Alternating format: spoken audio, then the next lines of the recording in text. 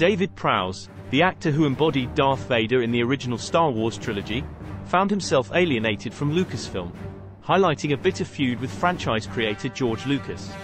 Prowse had a history of leaking spoilers to the press during the filming of the first two films.